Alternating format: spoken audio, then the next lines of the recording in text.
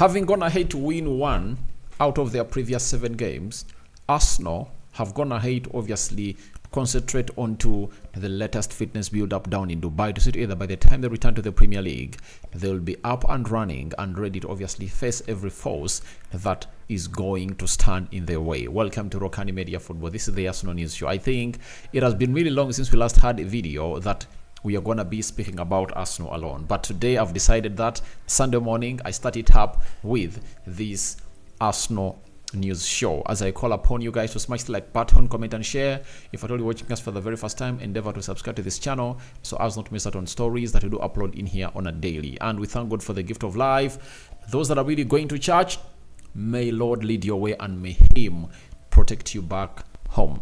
And the Muslims, Barakallahu fikum, and those praying from home, God is everywhere, right? So let's see close to 200 likes smashing this video as we get into this. Now today is the 14th of january you know 2024 and a lot has been happening in the night that has led to this morning. For example chelsea beat fulham by one goal to nil. Cole palmer found himself on target for the ninth time in 17 premier league games for the side of Chelsea. Then we had another goal at um, at uh, Newcastle leading Man City by two goals to one. Kevin De Bruyne came in, came in, came, came through from the bench, scored an equalizer, and really found an assist for Bobb, who went ahead to score the winner. So those are the two games that went ahead to be played in the Premier League, and today we are having a big one: Manchester United versus Tottenham Hotspur and very many others. The African Cup of Nations started yesterday night. Cote d'Ivoire beat Guinea-Bissau by two goals to nil, and today we are having Nigeria um, in action.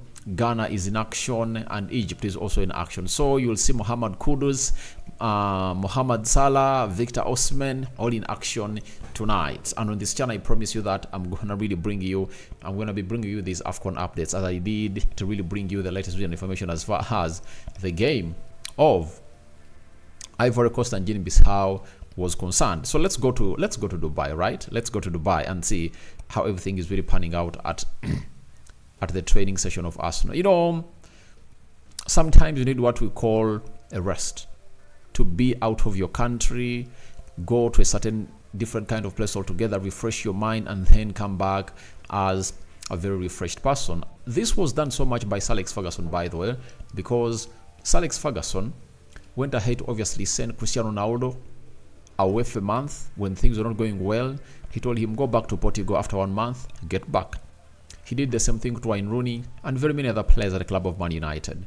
Erik Ten Hag did it to Sancho, three months away from Manchester, and when he returned, a lot changed in his life.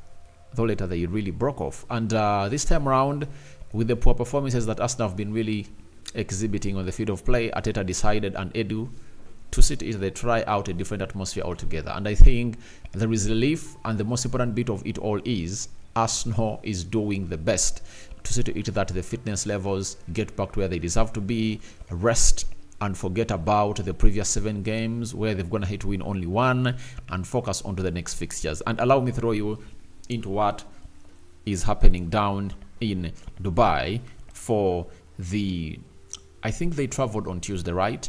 Today is Sunday. So they've now gone ahead to spend close to five days in Dubai and they are soon returning back to England. And I think at the start of the week, they might be traveling back to England, get some rest for like one or two days. And Wednesday, they'll be back into London Colney training facility to uh, obviously get themselves where they deserve to be. Now, this is Eddie Nketiah and Gabriel Martinelli trying to obviously get themselves into the green grass to obviously step up their fitness levels. But this should be a very, very, very huge occasion and chance for Martinelli to rediscover himself. He's really been playing badly for the club of Arsenal, and a lot needs to obviously change if at all Arsenal needs to do the needful. Remember, Arsenal might not even go in to bring him a wide forward, meaning that he's trusting the players he's having at Arsenal to do him the job. That is Mikel Arteta, and he needs obviously to really reflect out on that a lot. That is Benjamin White, one of those players that is really not that that exact right back that Arsenal should be having because Arsenal should be having a right back in the levels of um, Trent Alexander-Arnold, Reece James, you know, uh, Diogo Dalot, such people, you know, Kyle Walker, you know, Rico Lewis of this world, you know, Joshua Kimmich, and very many others, depending on what you really know about him. But he was also stepping onto the green grass. This is Mikel Arteta and his assistant coming in through to obviously try to conduct the training session where they're focusing so much on building on the physicality, fitness, and improving on the tactics as they return to the Premier League. Then Nwaneri and Cozier-Duberry obviously stepping onto the training ground as these two are really some of those academy graduates that Arteta is here to introduce into the team of Arsenal. And by the way, there is one thing that Arteta is not going to hate to do very well.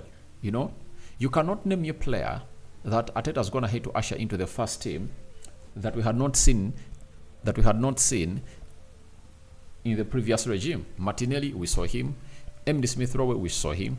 Bukayo Saka, we saw him. Now, I just can't wait to see him getting in a player from the academy. I think he brought in Sir, Ju- Sir is it Sagoe Jr. Yeah, I want to see Nwaneri coming in. We gave him a debut, but ever since then, the rest is history. But I've seen teams like Man United bring on Garnacho from the academy, and he's now a starter. Kobbie Mainoo, Marcus Rashford, Scott McTominay, um, Kambwala, you know, Hannibal, and very many others. But under Mikel Arteta, for the four years has been at Arsenal, I think we want to see these young talents coming in from Arsenal. The Patinos came in through, they loaned them to to the championship and now they want to be sold to Juventus, right? So I want to see a player coming in from the academy of Arsenal trying to get into the starting 11, right? I think that is one of the biggest duties that Mikel Arteta has not gone ahead to be done. And by the very minute I've gone ahead not to really give it a lot of concern, but it's really concerning. But those two are really talented. Reiss Nelson, one of those players that are not getting enough playing time, and I think in the summer he might be pushing with his agent to leave the side of Arsenal.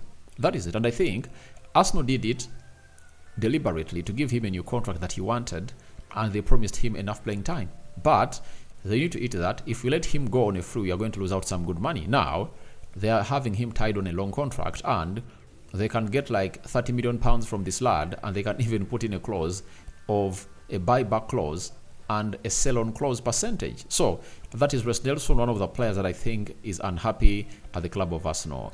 David Raya, um, Aaron Ramsdale, Karl Hein, and the other goalkeeper, I don't know his name, but those are the three that I'm going to hate to see their faces. But this was the goalkeeping department of Arsenal taking part into the training session in Dubai. This is Declan Rice doing the needful to obviously test his fitness levels down in Dubai. And um, this is Gabriel Magalhaes obviously trying to stretch with weights onto his hands. That is Gabriel Magalhaes. This is Mikel Arteta having a word with Edu, and they are really friends. And um, I think there is um, a very huge, a very huge discussion going on in between Edu and Arteta on what they should do as far as this winter transfer window is really concerned.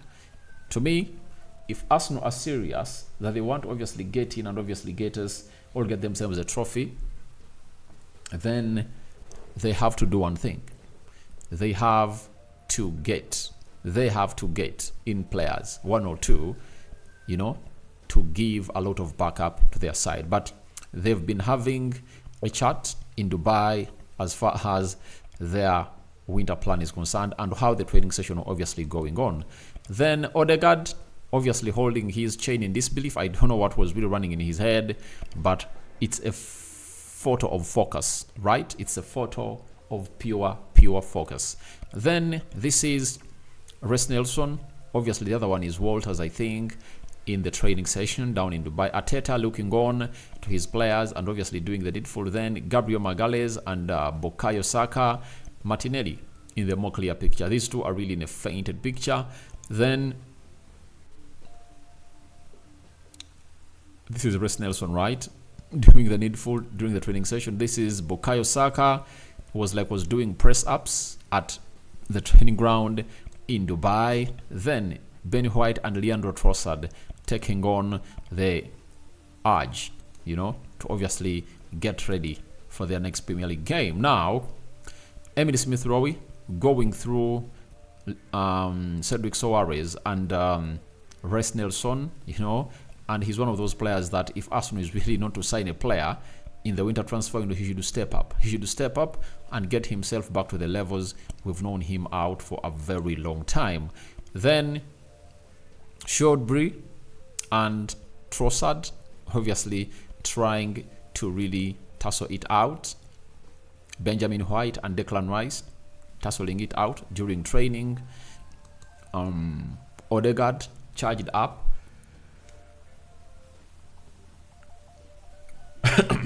Sorry about that. Charged up in Dubai. Then Gabriel Magalhaes and Declan Rice looks like they're on the same side and they're all smiles. Yo, you understand?